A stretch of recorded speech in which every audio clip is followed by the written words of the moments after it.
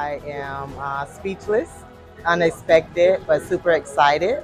So appreciative just to see that my hard work has paid off and that it's being recognized by the district. So I am so grateful and humble.